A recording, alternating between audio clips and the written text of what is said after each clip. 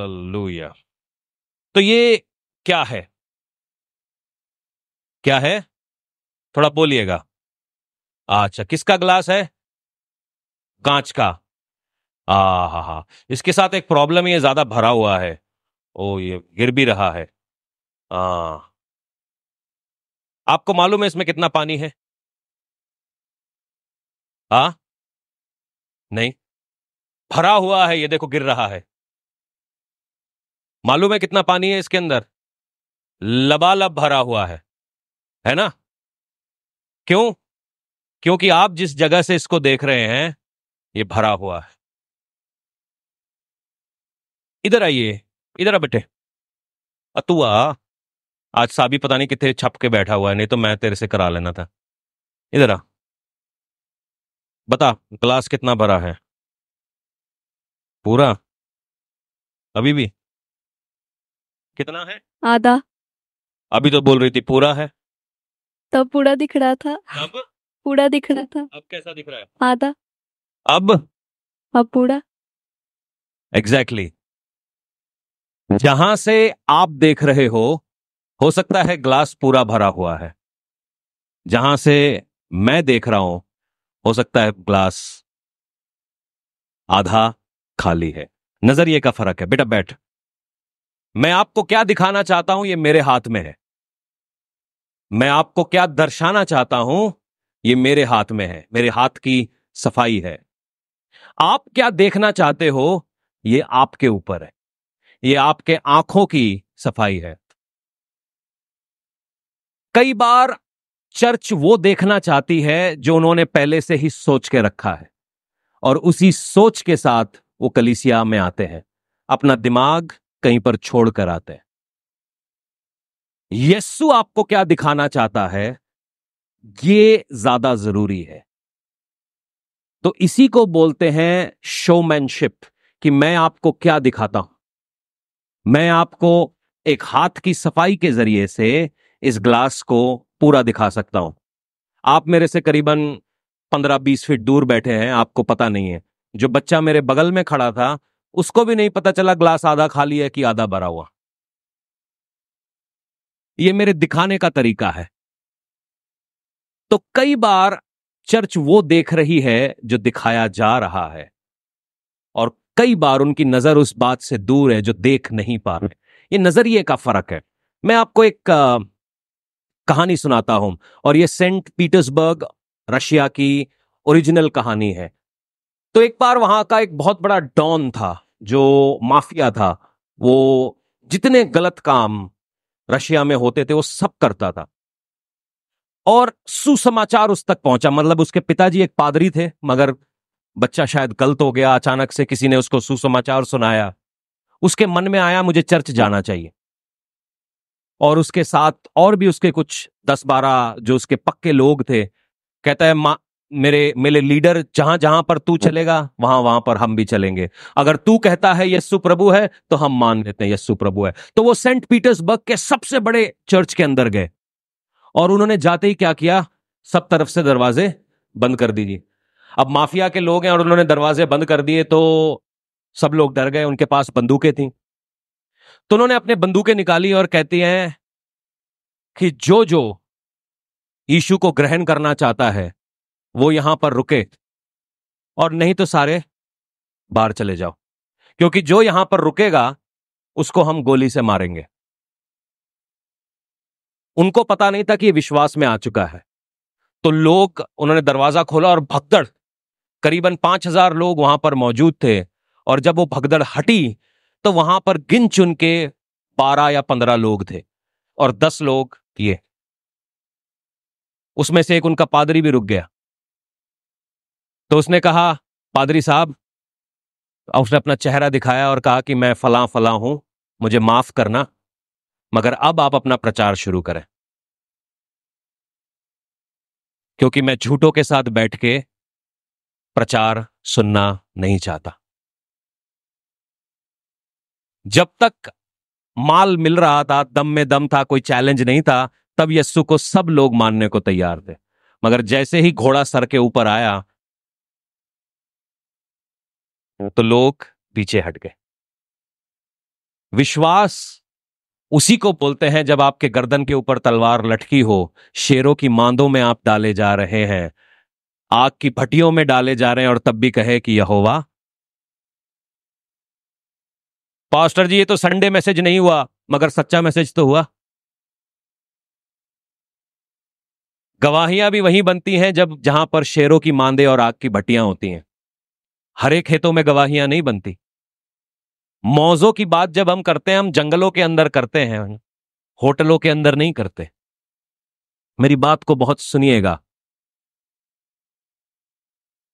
हम कुछ समय से, और ये मुहिम मेरे दिल पर काफ़ी टाइम से चल रही है कि मैं कलिसिया को कुछ बातों के बारे में बताऊँ।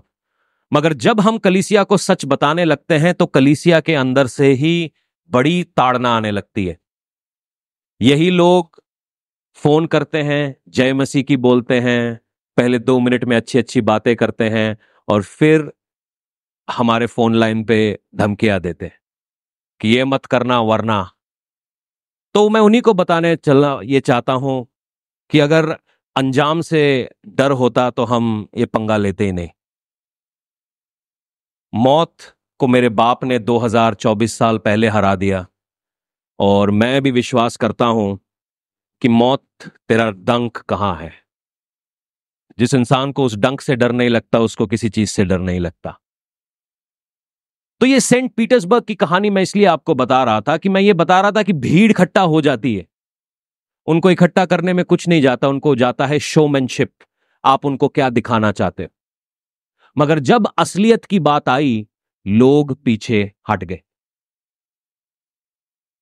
आज के अंदर भी यही हाल है। भारत मेरा बहुत प्यारा देश है। मैं बहुत जगह घूमा हूँ प्रभु की दया से, मगर जितना मज़ा मुझे इंडिया में घूमने में आता है, उतना कहीं और नहीं आता।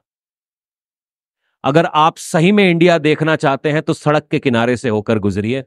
हर सौ किलोमीटर में ब्रेक लीजिए। लोगों से बातें करिए। आप देखोगे कि हमारा देश कितना रिच है, कितना पावरफुल है, कितना कल्चर है और आज हमारे के अंदर बहुत प्यार है, बहुत सद्भावना है और ये बनी भी रहनी चाहिए क्योंकि हमारी, हमारे देश की ये खूबसूरती है। मगर भारत का एक प्रॉब्लम है कि 78 साल हो गए हमारी आज़ादी को और 78 साल में हम अपने देश को एक प्रगतिशील देश बनाने में नाकामयाब रहे। अठहत्तर साल में जो हमसे बाद में आए थे, जो हमसे बाद में जिनको समझ आई, वो हमसे आगे हो गए और जो हम पहले से समझ थी, जिनको हमारे पास कल्चर था, हमारे पास लिटरेचर था, हमारे पास साइंस था, हम सबसे पीछे क्यों रह गए? इस बात को जब मैं ध्यान से देखता हूँ तो सारे लोग उंगली उठा देंगे, जी, नेताजी गलत है। मगर मैं उनसे यह सवाल पूछना चाहता हूँ, नेता को चुनने वाला कौन है? नेता को उस गद्दी के ऊपर बिठाने वाला कौन है? और जब वो गलत कर रहा है, उसको सहने वाला कौन है? ये किसी पार्टी विशेष के बारे में नहीं है। ये किसी पॉलिटिकल विशेष के बारे में नहीं है सभी के बारे में। ये कोई एक व्यक्ति नहीं है। अठहत्तर सालों में हज़ारों सरकारें आई, हज़ारों सरकारें चली गईं, मगर लोग वहीं के वहीं हैं, हालात वहीं के वहीं। इसके अलावा जिम्मेदार कौन है? हम कई बार सोचते हैं कि जिम्मेदार वो है जो देश चला रहे हैं। देश चलाने वालों को मौका देने वाला कौन है? आज देश की हालत ऐसी है कि देश में मल्टीपल लेवल्स ऑफ़ टैक्सेशन है। जब एक आदमी कमाने जाता है तो वो सोचता मैं कमाऊं किस लिए? मेरा सारा पैसा तो टैक्स में जा रहा है। आप उससे तीस परसेंट टैक्स लेते हो, उसके ऊपर जीएसटी लेते हो, उसके बाद रोड टैक्स लेते हो और रोड पे गाड़ी चलाने के लिए फिर आप टोल टैक्स भी लेते हो। बड़ी मज़ेदार बात है तीन चार लेवल की टैक्सेशन हो गई। तो अगर मुझे टोल टैक्स ही देना है, जो कि रोड बनाने का खर्चा है तो आप मुझसे रोड टैक्स क्यों ले रहे हो? और जब आप टोल रोड के ऊपर आते हो तो सरकार कहती है एनएचआई की गाइडलाइंस कहती है हंड्रेड किलोमीटर पे गाड़ी चलेगी जी। आप कहते हो, ठीक है जी, क्योंकि मैंने सौ रुपए की पर्ची कटाई है, अब मैं सौ किलोमीटर में गाड़ी चलाऊँगा, और हो सकता है कि मेरे दो चार घंटे बच जाएँ। मगर आगे छुप के पुलिस वाले खड़े होते हैं। वो आपको पकड़ लेते हैं। कहता, ना जी, हमारे स्टेट में नब्बे से ऊपर गाड़ी नहीं चलेगी। मगर मैं कहता हूँ, एनएचआई ने बोला है, सौ से ऊपर गाड़ी, सौ की गाड़ी चलनी चाहिए। ये रहा टोल की पर्ची। कहता, टोल की पर्ची नहीं। हम जो कह रहे हैं, वो माना जाएगा। तो आपने पहले रोड टैक्स दिया, फिर टोल टैक्स दिया, और आपको लग रहा है कि आप जल्दी अपने मंजिल पर पहुँचने वाले हो, मगर बीच में कहीं ना कहीं एक अजीब सा एक सिस्टम है कि वो आपको वहीं पे रोक लेते अगर यही बात मैं बोलता हूँ तो लोग मुझे देशद्रोही करार दे देंगे। सारा सिस्टम मेरे पीछे लग जाएगा और कहेगा, ये देशद्रोही है, ये तो बुराई कर रहा है। मगर एक्चुअली ये बुराई नहीं है, सच्चाई है। सच है ये एक बहुत बड़ा सच है, जो हमको हर दिन, हर रात झेलना पड़ रहा है। उसी प्रकार से जब मैं कलीसिया की बात करता हूँ, अभी आपने सुना कि एक मेडिकल रिपोर्ट आई थी डाउन सिंड्रोम की। और वो एक जगह नहीं, शायद दो दो तीन जगह पे आपने कंफर्म किया था? दो तीन जगह पर इन लोगों ने कंफर्म किया कि बच्चे को आप अबॉर्ट करा दें। मगर हमारे दिल में विश्वास था कि जब भी हम परमेश्वर के कलाम पर खड़े होंगे, परमेश्वर हमारे बच्चे को कुछ नहीं होने देगा। एक गैर क्रिश्चियन फैमिली को हम विश्वास देने लगे, हम प्रेयर करने लगे। ये लोग भी विश्वास करके प्रार्थना करने लगे। परमेश्वर ने आज उसका जवाब दिया, क्या मैं चमत्कारों के विरोध में हूँ? मैं बिल्कुल विरोध में नहीं हूँ। मैं जानता हूँ हर दिन, हर हर रोज, हर समय चमत्कार होते हैं। मगर मैं किस चीज़ के विरोध में हूँ? वो है ये, कि मैं आपसे सच छुपा रहा हूँ। मैं आपको वो दिखाना चाह रहा हूँ कि जो आप देखकर खुश हो जाएँ। और जब आप एक्सपोज कर देते हैं उस चीज़ को तो सारे लोग जैसे पीछे पड़ जाते कि आप चर्च द्रोही हो। मैं चर्च द्रोही नहीं हूँ, क्योंकि सच को जानो, सच तुम्हें क्या करेगा? मगर हम सच को जान के क्यों नहीं उसको मानना चाहते? मसीह विरोधी नहीं है, सच के संगी है। अगर आप मसीह से प्रेम करते हैं तो आप सच के विरोध में नहीं हो सकते। हम कई बार क्या करते हैं, अपना जो दिमाग है, अपने घर छोड़कर आते हैं। आपको मालूम है, दुनिया की सबसे ताकतवर चीज़ क्या है? वर्ल्डली चीज़। मालूम है आपको क्या? बताइए जरा। हाँ? क्या? पैसा? हाँ। कुछ लोगों के हाँ कितने लोग पैसा बोलते हैं? आई शाबाश। ओके। मैं आपको बताता हूँ दुनिया की सबसे तेज चीज़ है आपका दिमाग। क्या? इस कमरे में ऐसा क्या है जो आपके दिमाग ने नहीं बनाया? आप अपना पैसा किस लिए खर्च करना चाहते हो? एक गाड़ी खरीदने के लिए एक घर खरीद एक मोबाइल फ़ोन खरीदने के लिए वो मोबाइल फ़ोन बनाया किसने? किसी ना किसी के दिमाग ने ज़रूर बनाया होगा। वो पैसा कमाने की कुवत कहाँ से आएगी? आपके दिमाग से। पैसे को सही से खर्च करने का तरीका कहाँ से आएगा? आपके दिमाग से। परमेश्वर का कलाम क्या कहता है? परमेश्वर का भय? बुद्धि की? ओके। मैं आपको आपकी बुद्धि का एक डेमोन्स्ट्रेशन देना चाहता हूँ। अपनी आँखों को बंद करें। ईमानदारी से बंद करिएगा आजू बाजू मत देखिएगा। मैं दिखाता हूँ आपकी बुद्धि आपसे कैसे काम करवाती है। एक लंबी सांस लीजिए।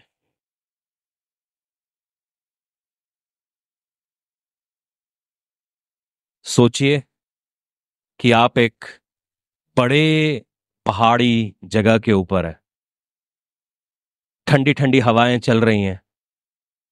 वो हवाएँ आपके चेहरों के साथ टकरा रही हैं। सामने से एक नदी गुजर रही है। वो नदी के पानी की आवाज़ आपके कानों तक पहुँच रही है।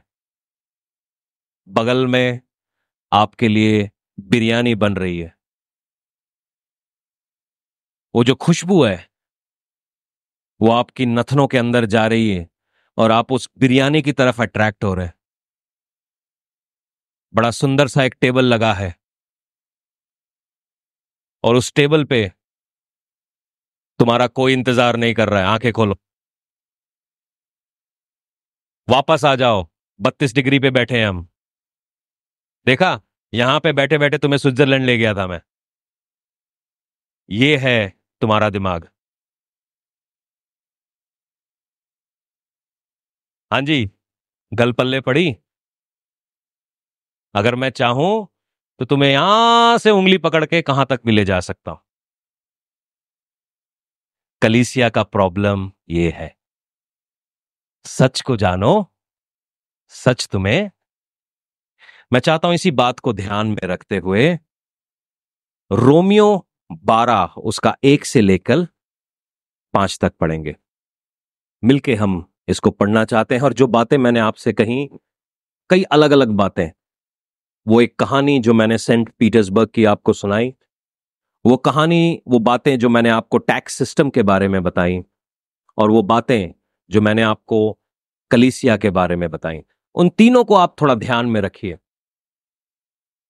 पिछले कुछ समय में हमारी धमकियों की जो लाइन है वो बढ़ती जा रही है। लोग बुला बुला के हमें धमकियाँ देते हैं। मेरा सवाल सिर्फ़ इतना ही है कि क्या ये मसीह हैं।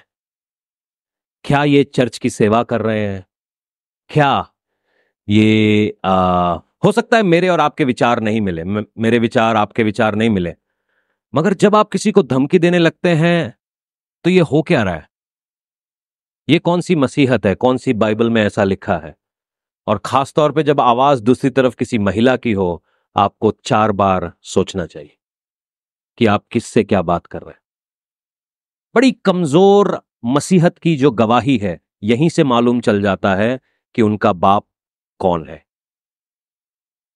हो सकता है मेरी और आपके विचार नहीं मिले, मगर इसका मतलब यह नहीं है कि हम शत्रु हैं।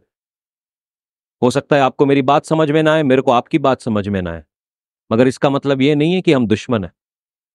जब कोई व्यक्ति ऐसा करने लग जाता है तो आपको उसका फ्रूट पता होना चाहिए। और फिर हमको सोचना चाहिए कि क्या यह कलाम में से है या नहीं। सुनिएगा। पौलुस रोमियो की कलिसिया को यूँ लिखता है अगर आप नए नियम को देखते हैं, नया नियम बड़ा ही इंटरेस्टिंग तरीके से लिखा गया है। एक तरफ़ पेंतिकूस का दिन खत्म हो रहा है प्रेरितों के काम में और कलिसिया एक्सपैंड हो रही है। स्टीफनुस का पथराव हो चुका है यरूशलेम के अंदर एक बड़ा ही टेंशन वाला माहौल चल रहा है और चेले इधर उधर सेवकाई के लिए निकल गए हैं। इसी सीरीज़ में जो कि पेंतिकुस के दिन के करीबन तीन साल या चार साल के बाद ये आ, मेरे मेरे ख्याल से उससे भी ज़्यादा साल के बाद ये रोम रोमियो की जो चर्च था वो पॉलुस ने स्थापित किया था। और पॉलुस इस कलीसिया को रोमियो बारह के अंदर कुछ लिखता है। और मेरा, मैं आपका ध्यान उसकी तरफ़ खींचना चाहता हूँ। इसीलिए, हे भाइयों, मैं तुमसे परमेश्वर की दया, स्मरा समरण दिलाकर विनती करता हूँ कि अपने शरीरों को जीवित और पवित्र और परमेश्वर को भावता हुआ बलिदान करके चढ़ाओ, यही तुम्हारी क्या है? जो लोग सेवा करना चाहते हैं, जो सेवकाई में आना चाहते हैं, या किसी आपको अगर ऐसा लगता है कि आप सेवा कर रहे हो तो ये आपकी जो सेवकाई का पहला स्टेप है। क्या आपका शरीर जीवित है? पवित्र है? और परमेश्वर को भावता है? और क्या आप उसको पूरी रीति से बलिदान देने को तैयार हो? अगर प्रभु बोलता है, क्रिकेट मैच नहीं देखना तो क्या आप उसको छोड़ने को तैयार हो? अगर प्रभु बोलता है, उस लड़के से बात नहीं करना तो क्या आप उसको छोड़ने को तैयार हो? अगर प्रभु बोलता है, उस लड़की की तरफ़ नहीं देखना, क्या आप उसको छोड़ने को तैयार हो? यह आपकी सेवकाई की जो पहली कड़ी है, वो यहाँ से शुरू होती है। हम चर्च में बैठे हैं, मगर हम छोड़ना कुछ भी नहीं जानते। सुनिएगा। इस संसार के सदृश्य ना बनो, पार्ट मतलब क्या मत बनो पार्टनरशिप ना करो। परंतु हमारे मन क्या, हमारे मन के नए हो जाने से तुम्हारा चाल चलन भी बदलता जाए, जिससे तुम परमेश्वर की भली और भावती और सिद्ध इच्छा को अनुभव से कैसे मालूम करता चलो। तुम्हारे किसके नए हो जाने से?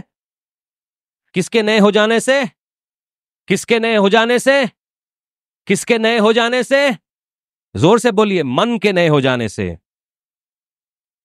तीसरी आयत यूँ कहती है क्योंकि मैं उस अनुग्रह के कारण जो मुझको मिला है तुम में से हर एक को कहता हर एक से कहता हूँ कि जैसा समझाना चाहिए उससे बढ़कर कोई भी अपने आप को आ, दुनिया का सबसे पवित्र आदमी मैं ही हूँ। सारी बाइबल मुझे ही पता है सारा अनॉइंटिंग मेरे अंदर ही है सबका बाप मैं ही हूँ। तो ये किसकी बातें हो रही हैं? आप खुद ही समझदार हैं, ठीक है जी?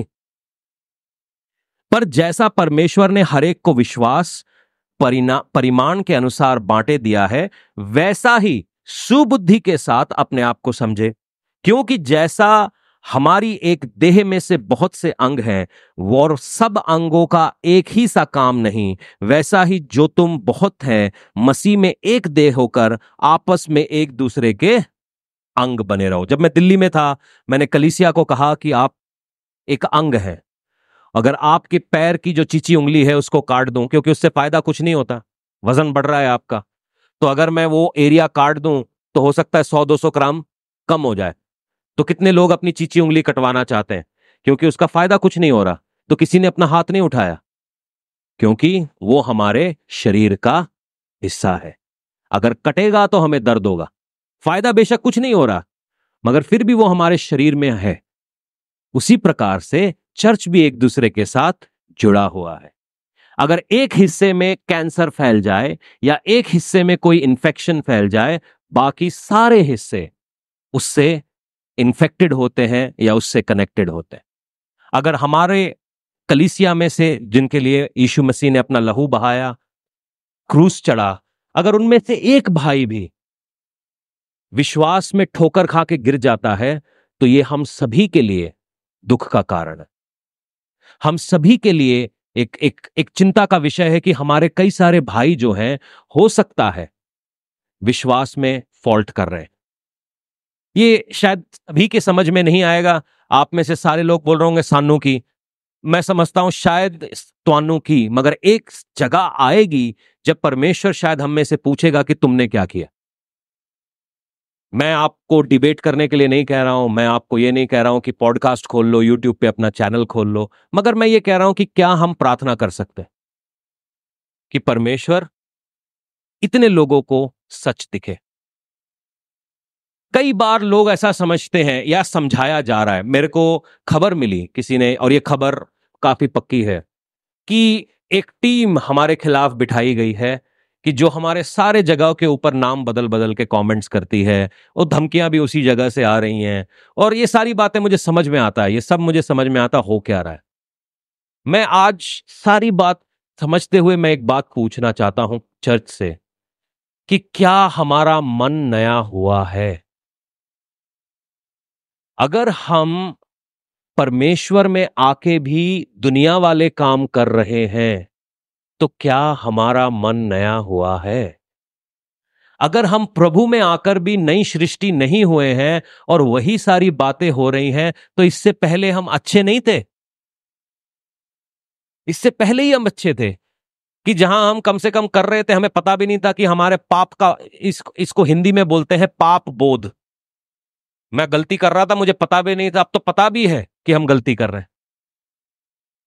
आज जब पंजाब में मसीहत की बात होती है तो पापाजियों की बात होती है। मेरे को, अगर आप मसीहत को सही में इंडिया में देखना चाहते हैं, आप प्रेरितों को भी मत देखो, आप थौमा को भी मत देखो। थोड़ी किताबों को उल्टाओ। ज़्यादा नहीं 200 साल पीछे जाओ। कोई साधु सुंदर सिंह की बात नहीं कहता। किसी बंदे को साधु सुंदर सिंह से बहर नहीं है, जट सिख परिवार से है। जट है। और और और और लोगों को मार रहा था, पीट रहा था। क्रिश्चियनों से नफरत कर रहा था, सोचता अंग्रेज़ों के बच्चे हैं ये। मगर इसी साधु सुंदर सिंह को जब यीशु मिला, इसने अपना सारा परिवार छोड़ दिया। और चंडीगढ़ से तिब्बत तक पैदल आना जाता था। अपनी जान हथेली पर डालकर। ये जो सारा गुरदासपुर का एरिया है, ये उसकी देन है। उस बंदे की देन है। आज से कुछ साल पहले यहाँ पर डाकू हुआ करते थे। उनके बीच में घुस घुस के उसने सुसमाचार प्रचार किया। किसी को कोई साधु सुंदर सिंह की बात नहीं करता। मालूम है क्यों? क्योंकि उन्होंने हिस्ट्री नहीं पढ़ी। वो देख रहे हैं, वो वो वो आधा, वो ग्लास देख रहे हैं, जो उनको दिखाया जा रहा है। जो उनको दिखाया जा रहा है। उसकी बात करो। मुझसे बात करनी है तो आप आओ और पंडिता रामाबाई की बात करो, कि कैसे एक ब्राह्मण स्त्री श्लोक सिखाते सिखाते बाइबल सिखाने लगती है।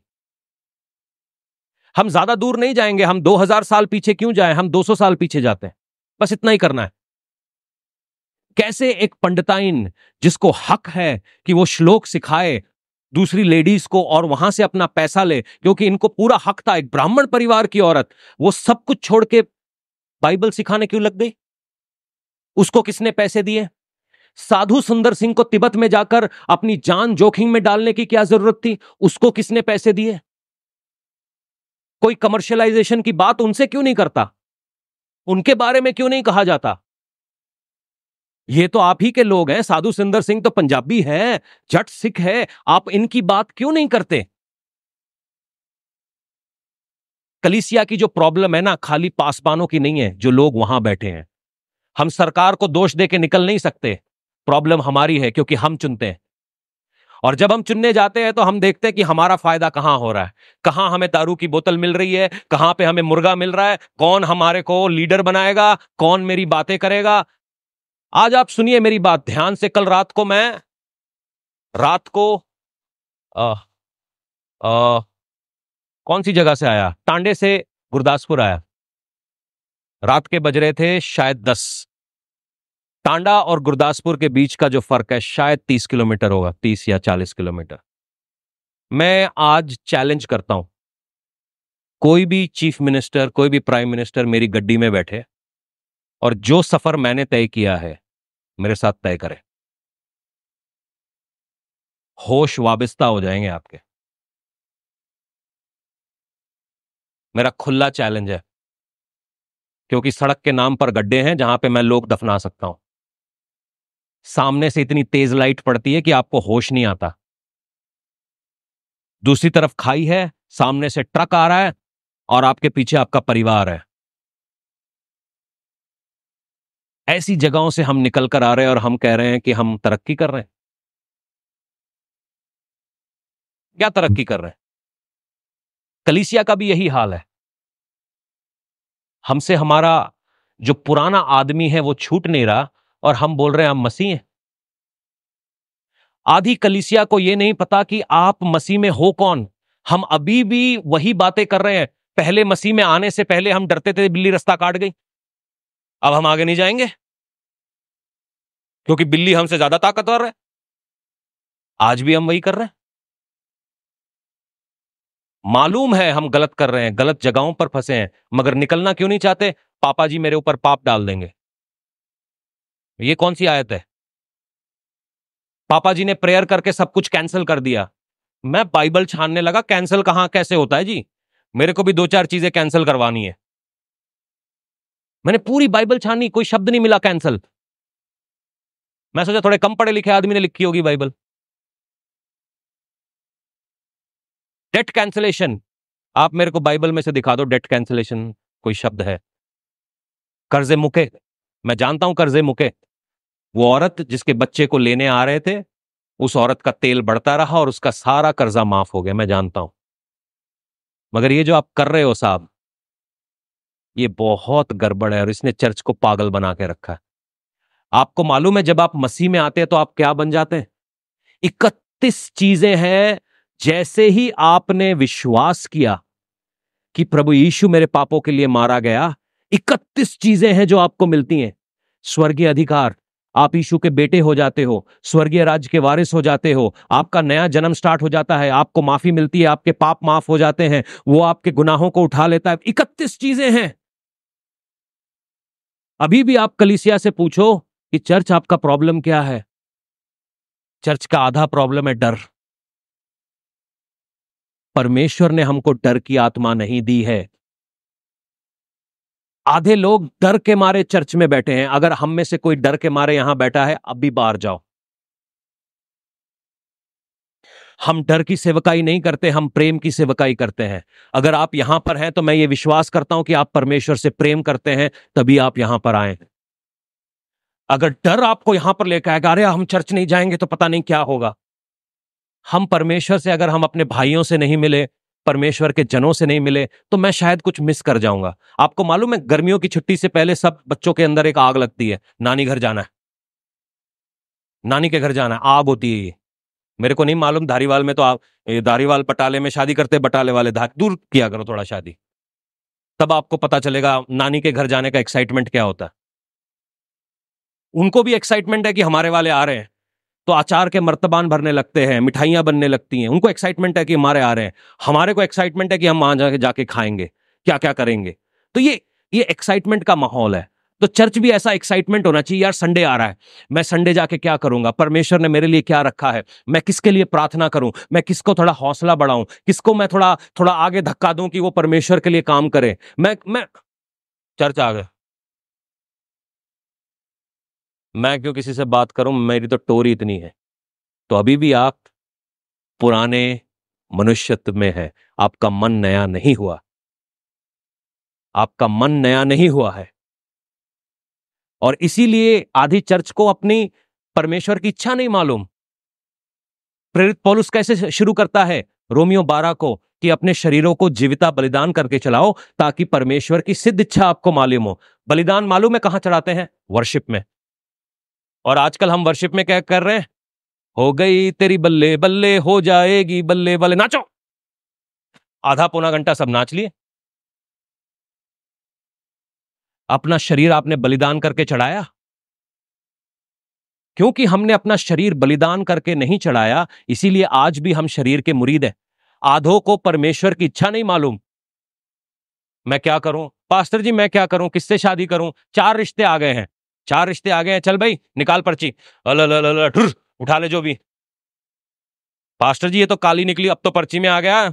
इसी से करनी पड़ेगी।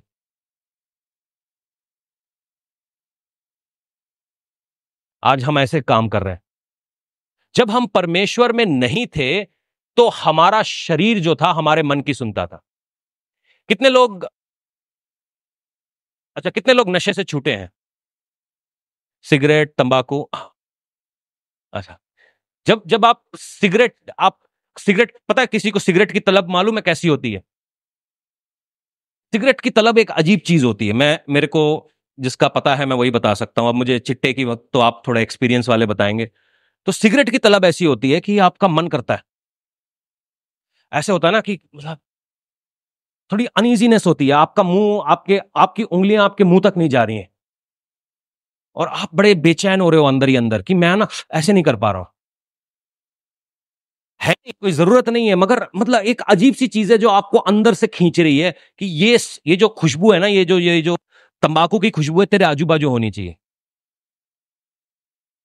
एक अंदर से आपका मन आपको ये काम करवा रहा है और ऑटोमेटिकली फिर आपका शरीर क्या करता है? वो पान वाले के पास जाता है, उसको रुपए देता है, सिगरेट लेता है, ऐसा करता है। फ़ायदा किसी का हुआ? कुछ नहीं। अंदर दो किलो हमने निकोटीन ले लिया। शरीर बर्बाद कर दिया। इसको बोलते हैं मन मानी। आपका शरीर आपके मन की बातों को मानता है। इसको बोलते हैं मन मानी। आपका मन मालूम है क्या है? आपका मन एक कटोरा है। और उस कटोरे के अंदर हर किसी व्यक्ति से जिससे आप मिलते हैं वो थोड़ा थोड़ा थोड़ा थोड़ा करके उसके drip by drip drip by drip बूंद बाय बूंद उसके अंदर पानी डाल रहा है। यहाँ पर काफ़ी सारे लोग बैठे हैं। अगर मैं आपसे ये पूछूँ, आपके सोचने का तरीका क्या है? ये मालूम है ये तरीका आपने कहाँ से सीखा? ये आपने अपने परिवार से सीखा। आपके माँ बाप को आपने देखा, आपके भाई बहन को आपने देखा। आपको, आपने कभी बिना बात के नखरा दिया है? दिया ही होगा। ये तो बेकार का सवाल पूछ रहा हूँ मैं। ये बिना बात का नखरा आपको कहाँ से आया? आपने देखा कि कोई बच्चा चीख चीख के रो रहा था और तो उसकी मम्मी ने ना उसके हाथ में टॉफी दे दी। बस। आपको मिल गई चाबी? चालीस साल के हो गए हरकतें अभी भी वही वाली हैं। हरकतें अभी भी वही वाली हैं। कि हम चीखने लगते हैं। टॉफी! जब जब चार साल का था, टॉफी कर रहा था। जब बीस साल का हुआ शनो पैंतीस साल का हुआ, घर में हिस्सा! चालीस साल में हुआ, दूसरी शादी! वही कर रहे हैं और क्या कर रहे हैं? नया क्या है इसमें? नया क्या है इसमें? बताइए, मैं कुछ गलत बोल रहा हूँ? चर्च में बैठ के भी हम दुनियावी काम कर रहे हैं। क्या तुम्हारा मन नया हुआ है? हमें परमेश्वर की इच्छा कैसे नहीं मालूम?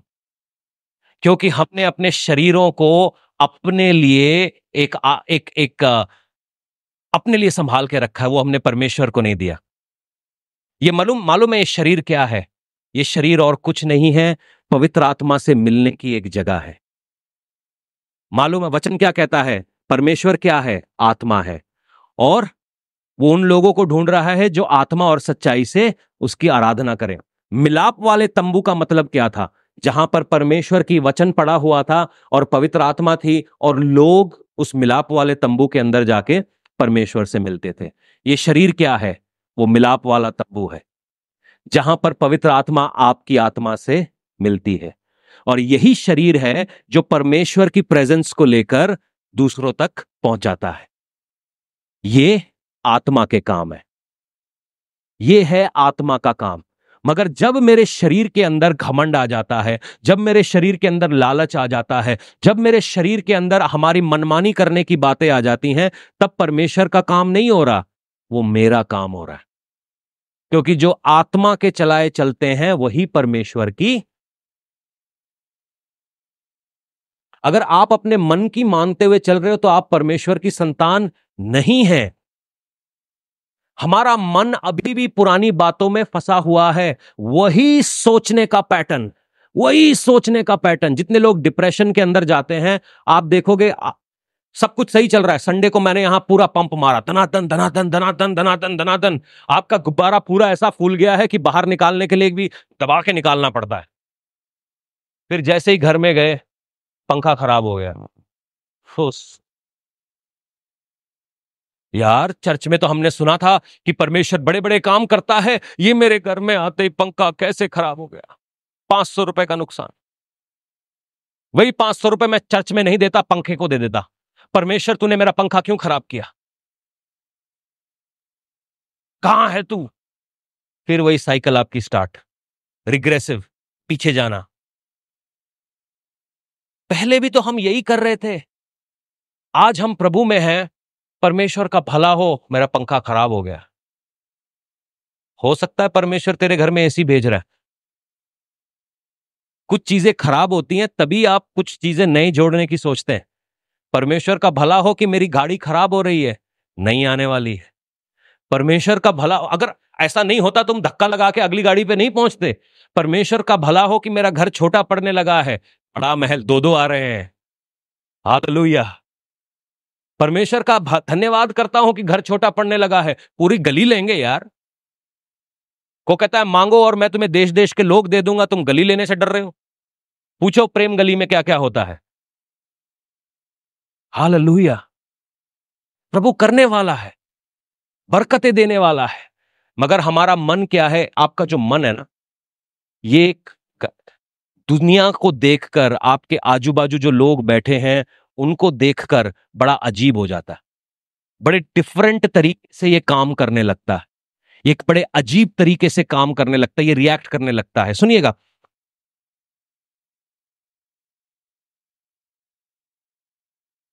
कई लोग फिजिकली चर्च में बैठे रहते हैं, मगर मेंटली वो कहीं और होता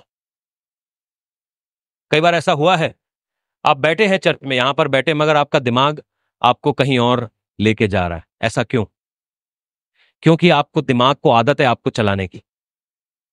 और आप उसको फॉलो करते हैं। मैं आज आपको एक नया तरीका बताता हूँ कि तेरे मन के नए हो जाने से। तो आज से क्या हम एक नया पैटर्न ले सकते हैं सोचने का? कि हमारी सोचों को जो है, परमेश्वर आज आप आके छू लीजिए ताकि मैं ये डिप्रेशन से बाहर आ जाऊँ। मैं ये रिग्रेसिव थॉट प्रोसेस से बाहर आ जाऊँ। मैं ये उल्टी सोचों से बाहर आ जाऊँ। अगर कई बार ये जो ये जो पैटर्न है ना, आप देखेंगे नेगेटिविटी क्या है? अगर आप, मैं वचन बोलूँ नेगेटिविटी नेगेटिविटी कुछ नहीं है आपके एक सोचने का तरीका। आपके बात करने का तरीका। मेरा कुछ भी भला नहीं हो सकता।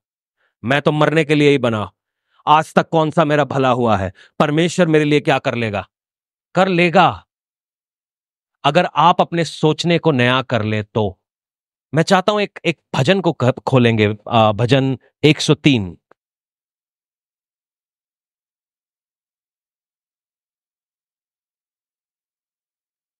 ये दाऊद का लिखा हुआ भजन है, बड़ा काम का भजन है।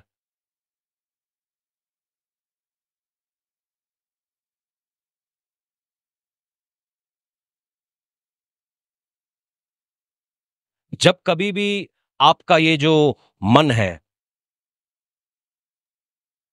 पुरानी शरीर के तरीके से, दुनियावी तरीके से चलने लगता है। आपको यह समझना है कि शैतान की एक चाल है। आप बोलेंगे, पास्टर जी, इससे निकलने का तरीका क्या है? मैं आपको बताता हूँ, नंबर वन, सबसे ज़रूरी काम अपने अंदर बाइबल भरने लग जाओ। हम में से आधे लोग प्रेयर करते हैं, बाइबल नहीं पढ़ते। और यहीं पे शैतान बाजी मार जाता है। कुछ नहीं हो रहा है, बाइबल ऑन कर लो, ऑडियो बाइबल है, बोल लो, उसके साथ साथ बोलो। यहाँ पे दाऊद के, ये भजन किसको लिख रहा है मालूम है? दाऊद ये भजन अपने मन को लिख रहा है। दाऊद अपने मन से बातें कर रहा है। कई बार मैं कल रात को गाड़ी चलाते चलाते ये प्रीचिंग तैयार कर रहा था तो मैं प्रीचिंग करता ही रहता हूँ चौबीस घंटे। तो नेहा बगल में बोल रही, क्या हो रहा है? मैंने कहा, कल कल क्या, मैं ऐसे कुछ कर रहा था। कहते, कल की प्रीचिंग तैयार हो रही है। मैंने कहा हाँ। ये यहाँ है। ये यहाँ है। स्क्रिप्ट में कुछ नहीं लिखा। सब यहाँ है। मेरा मन कहाँ है? परमेश्वर की तरफ़ में है या दुनिया की तरफ़ में? सुनिए, कितने लोग पैसे को लेकर फाइट कर रहे हैं? हाँ या ना? मैं कर रहा हूँ। सुनिएगा, क्यों कर रहे हो फाइट क्यों कर रहे हो? मेरे को रज्जी से ज़्यादा पैसे चाहिए। वो हर संडे नया सूट पहनती है। अब रज्जी से एक नया सूट ज़्यादा ले लिया मैंने। फिर मेरे को कोई और मिल गई, उसके पास चार सूट और थे। अब मेरे को उससे ज़्यादा चाहिए। अब मेरे को उससे ज़्यादा चाहिए। अब मेरे को उससे ज़्यादा चाहिए। ऐसे आप कभी भी खुश नहीं हो सकते। मैं फाइट कर रहा हूँ क्योंकि परमेश्वर ने मुझे एक ऐसा दर्शन दिया है जो मेरी औकात से परे है। तो इसीलिए मैं परमेश्वर के साथ बोल रहा हूँ, अगर तूने दिया है तो तू पूरा कर। मेरे बस की तो है नहीं। तो ये मेरी फाइट है। मैं किसी के साथ रेस नहीं लगा सकता, क्योंकि मैं सबसे ज़्यादा अमीर कभी भी नहीं बन सकता। ये अमीरों के बीच के लफड़े हैं। कभी फोर्ब्स बोलता है, वो सबसे ज़्यादा अमीर है। कभी फोर्ब्स बोलता है, वो सबसे ज़्यादा अमीर है। तो यार, उस चक्कर में मैं नहीं फंस सकता। अंबानी को लग रहा है, यार, बिल गेट्स मुझसे ज़्यादा अमीर कैसे हो गया? उसकी चार दिन की नींद चली गई। क्या फ़र्क पड़ता है, कोई मुझसे ज़्यादा अमीर है? क्या मैं अपने दर्शन को पूरा कर पा रहा हूँ, जो परमेश्वर ने मुझको कहा है करने के लिए? हम कंपटीशन में क्यों लगे हैं? क्योंकि हम दुनियावी सोच में हैं। हम नेगेटिविटी में क्यों लगे हैं? क्योंकि हम दुनियावी सोच में हैं। हम एक दूसरे से जलसी में क्यों लगे हैं? क्योंकि हम दुनियावी सोच में हैं। हमारा सोचना जो है ये दुनियावी पैटर्न में आ चुका है। आपको मालूम है झगड़े कब होते घर में? कितने लोग ईमानदारी से बताएँगे झगड़े कब होते हैं घर में? आ, शायद आपके घरों में नहीं होते मगर झगड़े जब होते हैं घर में वो इसलिए होते हैं क्योंकि आप उल्टा सोच रहे हो। दोनों में से कोई ना एक उल्टा ज़रूर सोच रहा है। अगर वो दोनों में कोई एक ये समझ जाए कि मैं उल्टा सोच रहा हूँ और अपने सोच को ठीक कर ले तो घरों के अंदर झगड़े ना किसी को तो बहुत समझ में आई? कैसे? आ, मैं क्यों मैं कभी भी उल्टा नहीं सोचता। थोड़ा कभी किताबों को उठाओ बाइबल कहते हैं इसको थोड़ा देखो शीशा है ये। ये आपके अंदर का जो भी चल रहा है वो पूरा बयां कर देगा कि आप कैसे सोचते हो, क्या करते हो, क्या बोलते हो, किस तरफ़ देखते हो, किस तरफ़ नहीं देखते हो, सब लिखा है यहाँ पे, मुझे बोलने की कोई ज़रूरत नहीं। अगर आप इसको पढ़ते तो आप अपने आप को मुझसे बेहतर जानते। दाऊद ये ये जो भजन है अपने मन को लिख रहा। मतलब पूरी बाइबल में यहोवा तू भला है, मेरे परमेश्वर का जैसा कोई नहीं, यहोवा मेरा चरवाहा है। अचानक से दाऊद के दिमाग में आता, मैं अपने मन से बात करूँगा। क्या लिखता है? ए मेरे मन, और जो कुछ मुझमें है। क्या है? क्या आपके अंदर क्या क्या है? क्या आपका जो प्लान है आपकी लाइफ में, क्या वो यहोवा को धन्य कह सकता है? जिस चीज़, जिस जिस पैसे के लिए लड़ रहे हो, पैसा पैसा पैसा, क्या वो यहोवा को धन्य कह सकता है? अगर नहीं कह सकता तो आज ही छोड़ देना। जिस सेवकाई के लिए कह रहे हो, सेवकाई होनी है, सेवकाई होनी है, क्या वो सेवकाई यहोवा को धन्य कह सकती है? अगर नहीं कह सकती तो आज ही बंद कर दो। वो बिज़नेस बिज़नेस बिज़नेस, वो बिज़नेस, अगर आपका बिज़नेस यहोवा को धन्य नहीं कह सकता, आज बंद कर दो। क्योंकि आज आप किसी और डायरेक्शन में जा रहे हो। और आप सौ साल किसी और तरफ़ तुरते रहोगे और फिर कहोगे, यहोवा भला नहीं है। पहले ही जगह पर जान लेते कि क्या जो कुछ मेरी लाइफ में है, क्या वो यहोवा को धन्य कह पा रहा है। अगर नहीं कह पा रहा, आप दूसरी डायरेक्शन में चल रहे हैं, दुनियावी डायरेक्शन में चल रहे क्या मेरी बात समझ में आ रही है? जो कुछ मुझमें है, वह उसके पवित्र नाम को धन्य कहे। हे मेरे मन, यहोवा को धन्य कहे। और उसके उपकार को आपको वो याद आया कि आपका पंखा खराब हो गया, मगर आपको वो याद नहीं आया? जब आप बिस्तर में पड़े हुए थे और डॉक्टर ने बोल दिया था कि कुछ नहीं होना, वो एक हाथ आसमान से निकला और उसने आपको उठा के खड़ा कर दिया। वो भूल गए? जब तुम फटी चप्पल में रोडों पर घूमते थे और उसने तुम्हारा हाथ पकड़ के तुमको एक जगह पर पहुँचाया, वो भूल गए जब डॉक्टर तुम्हारा जवाब दे चुके थे और परमेश्वर ने तुम्हें चुका। ए मेरे मन, यहोवा को धन्य कहे। ए मेरे मन, यहोवा को धन्य कहे। ए मेरे मन, यहोवा को धन्य कहे और उसके उपकारों को ना भूलना।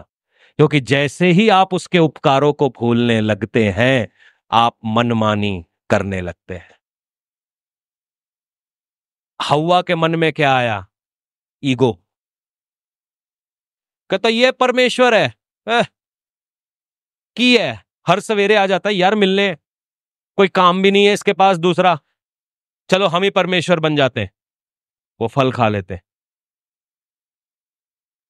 बन गई परमेश्वर। बन पाई परमेश्वर। जो जगह थी वो भी छुट गई। मेरी बात को थोड़ा गौर से सुनिएगा और समझने की भरपूर कोशिश करिएगा। इसको नया होना है। ये नया हो गया तो आप आशीषित हो जाएँगे। आपकी पचास प्रतिशत जो लड़ाई है ना, इसकी है। इसकी। ये जो दो कानों के बीच में परमेश्वर ने आपको दिया है। विश्वास कहाँ है? यहाँ है। मगर काम कैसे करता है? यहाँ से। क्या तुम्हारे अंदर राई के दाने के बराबर विश्वास है तो? तो क्या होता है? तो क्या होता है?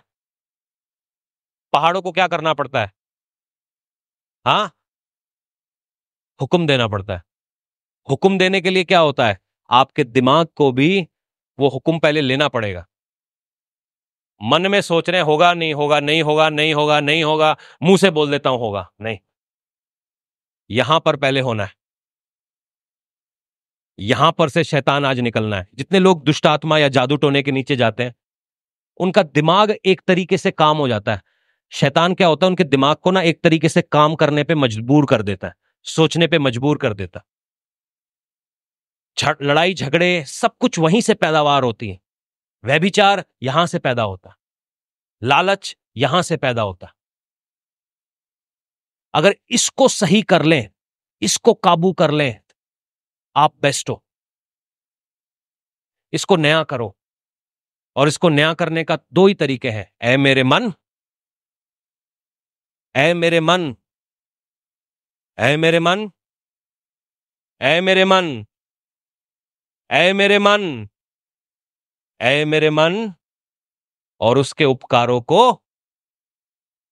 हर रोज सवेरे पहले उठ के प्रभु मेरे परिवार के लिए शुक्रिया। ये मेरा बेटा जो मेरे बगल में लेटा है, ये मेरी बेटी जो मेरे बगल में लेटी है, इसके लिए शुक्रिया परमेश्वर। परमेश्वर मेरे हस्बैंड मेरी वाइफ के लिए शुक्रिया। परमेश्वर मेरे चर्च के लिए शुक्रिया। परमेश्वर आज मेरे घर में खाना है। पास्टर के लिए भी शुक्रिया कर दिया करो। ओ, प्रभु उसके लिए भी शुक्रिया। परमेश्वर आज मेरे घर में खाना है। परमेश्वर आज मैं किसी आईसीयू में लेटा नहीं हुआ हूँ। ऐ, मेरे मन यहोवा को धन्य कहे। यहाँ से शुरुआत करें। शुरुआत कैसे होती है? आज बटर चिकन नहीं मिलेगा। भलाई नहीं है प्रभु। फिर वही की की दाल रोटी? स्वाह। है मेरे मन, दाल रोटी कम से कम आप भीख से तो नहीं खा रहे, डस्टबिन में से तो नहीं उठाकर खा रहे। प्रभु ने इतना लायक रखा है कि आपके घर में इज़्ज़त से आपको दाल रोटी मिल रही है। मेरे मन, जो दाल रोटी दे सकता है, वो बटर चिकन भी देगा। जो एक कमरे की चुक्की दे सकता है, वो दस कमरे का मकान भी देगा। जो साइकिल पे चला सकता है, वो फोर व्हीलर पे भी चढ़ाएगा। ऐ मेरे मन, यहोवा को धन्य कहे। शैतान आपके दिमाग को उल्टा चलाता है। कुछ नहीं होगा, कुछ नहीं होगा, तेरा कुछ नहीं हो सकता, नहीं हो सकता। अपने सिचुएशन को देख, अपने हालात को देख, अपने परिवार को देख। इतने सालों में तो कुछ नहीं हुआ। मैं ज़िंदा हूँ ना? हूँ ना? है ना ज़िंदा? कैसे? कैसे? कैसे? मरा नहीं ना? अगर मैं नहीं मरा तो मेरा सपना भी नहीं मरेगा। अगर परमेश्वर ने मुझे ज़िंदा रखा है तो किसी वजह से मैं अपना सपना पूरा करके रहूँगा। वो जो ड्रीम उसने मेरे दिल में डाला है, वो पूरा होकर रहेगा। वो जो दर्शन उसने मेरे दिल में डाला है, वो पूरा होकर रहेगा। ऐ मेरे मन, यहोवा को धन्य कहे। जब भी नेगेटिविटी आने लगे, ऐ मेरे मन, यहोवा को धन्य कहे। वर्शिप टीम को बुला लीजिए। ऐ मेरे मन, यहोवा को धन्य कहे। उसके उपकारों को ना भूलना। पति पत्नी के बीच में पता है झगड़े कब होते मालूम है? हाँ? जितनों की शादी हो चुकी है, एक बार हाल बोलो। जितनों की होने वाली है, सुनो। जब आप चिढ़ने लगते हैं। जब आप उसने मेरे लिए ये नहीं किया, आज से आप सोचे उसने ने मेरे लिए क्या क्या। किया क्या हम ऐसा सोच सकते कि उसने मेरे लिए कहाँ कहाँ पे कॉम्प्रोमाइज किया कहाँ कहाँ पे उसने मेरे लिए बातें सही, बातें सुनी, मेरे लिए वो बोझ उठाया। आज हम हम हम वहाँ से सोचना शुरू करें। ए मेरे मन सुनिएगा, ये प्रचार हर किसी की समझ में नहीं आएगा। मैं ये उम्मीद भी नहीं करता हूँ कि ये बच्चों की समझ में आए, विश्वास में भी बच्चे होते हैं। मगर अगर आप मेच्योर होना चाहते हैं, आप विश्वास में बड़े होना चाहते हैं, अपने दिमाग को रिन्यू करिए।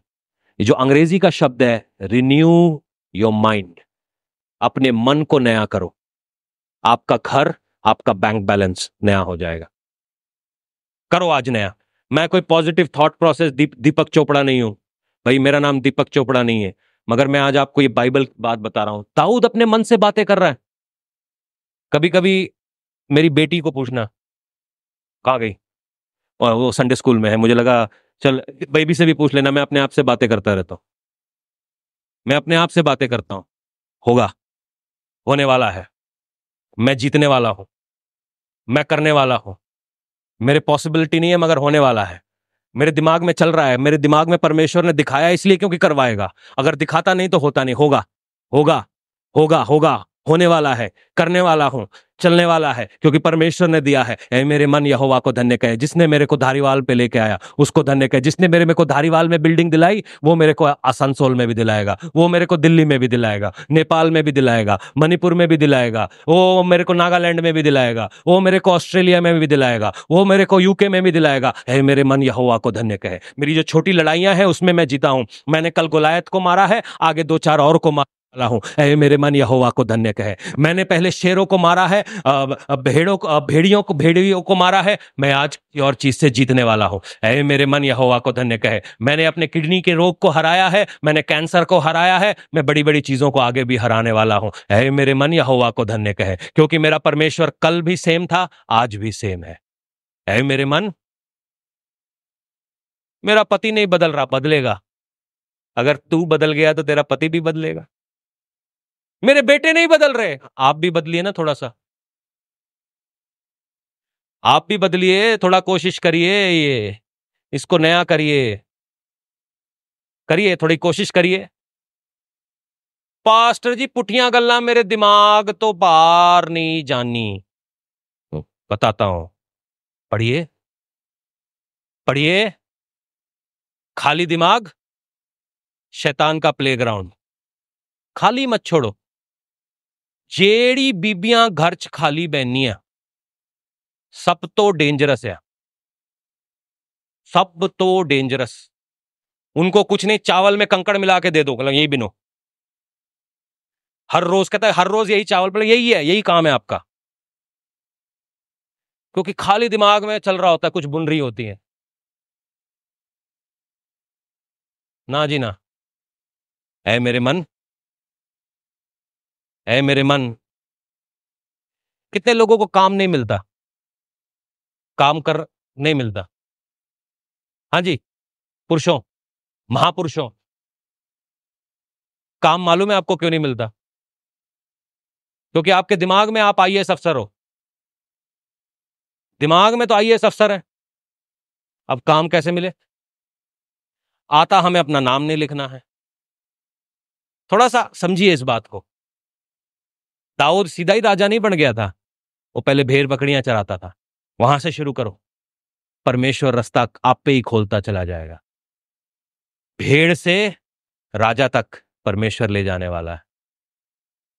आप बिना काम के कभी नहीं रहेंगे। ऐ मेरे मन, ऐ मेरे मन, ओटो को छू, लो को छू। ऐ मेरे मन, यहोवा को धन्य कहे। आज आज आज इस बात को सोचो। पुराने कितने उपकार हैं उसके। उसके कितने उपकार हैं जो शैतान आपको देखने नहीं देता? कितने सारे उपकार हैं जिसको आप भूल चुके हो? कितनी बार आप एक्सीडेंट से बचाए गए हो? पता एक्सीडेंट होता है तो आदमी कहाँ होता है? अस्पतालों में जाके देखना, आईसीयू के अंदर। मुँह से इतनी बड़ी बड़ी ट्यूब निकली होती है और आवाज़ आवाज़ रो भी नहीं पा रहा है। कितनी बार प्रभु ने हमको ऐसी जगहों से बचाया है? कितनी बार? कितनी बार? कितने लोग कोरोना में मर गए? मैं बचा हुआ हूँ। कितने लोग चालीस की उम्र तक आते आते हार्ट अटैक हो गया? मैं बचा हुआ हूँ। मैं कितने अपने दोस्तों को जानता हूँ जो अभी तक मर चुके हैं? मैं बचा हुआ हूँ। क्यों बचा के रखा है? क्योंकि उसको मेरे से काम है। आप क्यों अभी तक बचे हुए हैं? क्योंकि उसको आपसे काम है। अपने मन को नया करें। आपको ये समझना है कि हर बार आप एक नई सीढ़ी पे रखोगे पाओ एक नया चैलेंज एक नया दुष्ट आत्मा खड़ा होगा। और उसमें से भी प्रभु निकालने वाला है। जिसने पहली सीढ़ी में मुझे जिताया, वो दसवीं सीढ़ी पर भी जिताएगा और ज़िंदगी के हर कदम पर मुझे जिताता रहेगा। क्योंकि प्रभु हमसे प्रेम रखने वाला परमेश्वर है। उसने हमें छोड़ा नहीं है, त्यागा नहीं है। पता है, चंग, चंगों को देख के हम क्या सोचते हैं? कि उसने मुझे छोड़ दिया है। मैं आज आपको बताता हूँ जितनी ज़्यादा जंगें आपकी लाइफ में हैं, वो ये दिखाती हैं कि वो आपके साथ है। तभी कोई आपके ऊपर विरोध कर रहा है। यहीं पे किसी परिवार में हम गए। उस परिवार के अंदर एक बच्चा एक व्यक्ति नशा कर रहा था, उसको हम चर्च लेकर आए। अगले हफ़्ते एक औरत उसको बोलती, उस चर्च में नहीं जाना, किसी और चर्च में जाओ। शायद आपको समझ नहीं आया जोक। शैतान यहाँ पे कितने सारे लोग हैं, आपको चर्च शैतान आने नहीं देता सवेरे? मैं जानता हूँ। मैं जानता हूँ इस बात को। ये जोक को आज पकड़ लो। उसकी सुननी नहीं, उसकी माननी नहीं। उसकी माननी नहीं हमने। क्योंकि आज हम आज़ादी के लिए बुलाए गए नया हो रहा है। आज सब कुछ नवा हो जाने वाला है। वो कौन सा गीत गा रही थी सुमित? हाँ हाँ। एक बार वो गीत गाएँगे और हम विश्वास करेंगे, आज विश्वास करिए कि आप डिप्रेशन से बाहर आ रहे हैं। ये रिग्रेसिव रिग्रेसिव मतलब मेरा कुछ नहीं होता, मेरी बिल्ली जमाइमा भी मुझको डांटती है। ये रिग्रेसिव थॉट प्रोसेस है। होगा। होगा। अगर यस्सु मुर्दों में से बाहर आ सकता है तो तू भी आ सकता है। होगा। होना ही है तो विश्वास किस काम का? अगर पहाड़ ना हिले तो। विश्वास किस काम का अगर मुर्दा चीज़ें ज़िंदा ना हुई तो? विश्वास किस काम का अगर लंगड़े ना चले तो? विश्वास किस काम का अगर अंधे ना देखे तो? विश्वास किस काम का अगर गूँगे ना बोले तो? विश्वास किस काम का अगर रिपोर्ट कहता है डाउन सिंड्रोम है और बच्चा परफेक्ट निकले तो? यह है विश्वास। तूफानों के मुँह पे खड़े होकर कहेंगे कि यस्सु ज़िंदा है। शैतान की गर्दन के ऊपर पाँव रख के कहेंगे कि यस्सु ज़िंदा है। आ लड़ मेरे और देख। सब नवा कर गया है सब नवा कर गया है next five minutes just praise अगले पाँच मिनट अगले तीस second just praise God praise God जिस तरीके से भी आप प्रेज कर सकते हैं। घुटनों पे आकर हाथ उठा के आज विश्वास करें आपका मन नया हो चुका है। विश्वास नया हो चुका है। जिस तरीके से भी आप परमेश्वर को प्रेस करना चाहते हैं लेट के खड़े होके सर के बल इट्स अप टू यू सब नवा करके आए ओ मेरी ज़िंदगी दे। हालेलुया। सब नवा करके आए ओ मेरी ज़िंदगी दे विच सब नवा करके आए सब नवा करके आए। सब नवा करके प्रार्थना आए। करें। सब नवा करके आए। पैसे हो हैं रिश्ते हैं सब नवा करके आए। ओ मेरी ज़िंदगी दे विच। सब नवा करके आए। ओ मेरी ज़िंदगी दे विच। पर वो न करांगा मैं लोकां दे मेरे नवा। नया नया नया नया नया।